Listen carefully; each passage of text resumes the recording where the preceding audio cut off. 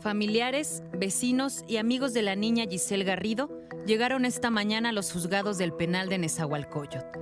Ahí se llevó a cabo la primera audiencia en contra de Roberto, el presunto feminicida de la menor, dueño del cibercafé que Giselle visitó antes de su desaparición.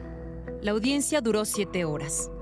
En ella, la Fiscalía del Estado de México expuso los motivos por los que Roberto, de 51 años, está vinculado con el feminicidio de la menor de edad. También leyeron la declaración que Roberto hizo al Ministerio Público tras ser detenido, en la que confiesa el asesinato. Roberto declaró ante el Ministerio Público que un día antes de la desaparición de Giselle, el viernes 18 de enero, estuvo bebiendo alcohol junto con un amigo. Su acompañante se fue pero él continuó tomando hasta las 5 de la mañana. Horas más tarde decidió abrir su café internet.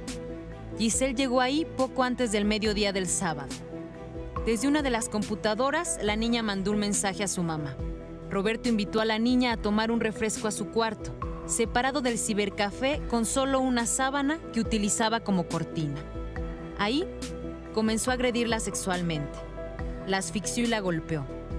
Roberto declaró que no pensaba matarla, pero lo hizo por miedo a que lo denunciara. A las 9 de la noche, envolvió a la niña en la sábana y metió su cuerpo a su auto y se dirigió hacia Coatepec, en Ixtapaluca.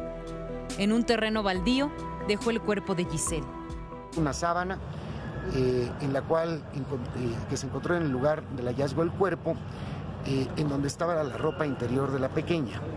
Y esta sábana coincide en bordado, coincide en estampado con otra sábana que era utilizada en el ciber, pues como cortina. Durante la audiencia, el juez calificó como legal la detención y decidió vincularlo a proceso por el feminicidio de Giselle Garrido. Permanecerá en el penal de Nezahualcóyotl. Es algo muy aterrador, ¿no? Todo lo que él mismo declara, ¿no? La forma en que lo hizo, cómo victimizó a, mi sobrina, ¿no? Entonces, ahí está su, castigo. El juez dio un plazo de tres meses para que se lleve a cabo lo que se llama la investigación complementaria. La próxima audiencia por este caso va a ser en abril.